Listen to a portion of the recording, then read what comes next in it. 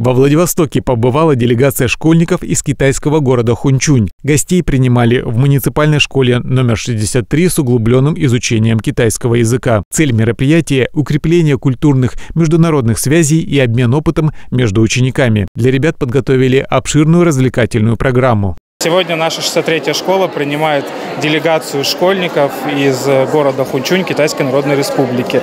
Сегодня у нас запланированы культурные мастер-классы. Мы делимся творческими номерами, показываем культуру России, смотрим, э, какие номера подготовили нам ребята из Китая. Также сегодня ребят ждет мастер-класс по изготовлению игрушки, а также кулинарный мастер-класс. Будут вместе кушать блины и делиться с друг другом э, школьным опытом.